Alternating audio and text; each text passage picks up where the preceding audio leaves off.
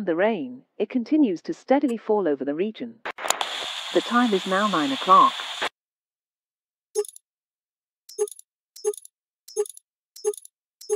The pressure system stays with us this hour, delivering continued rain showers.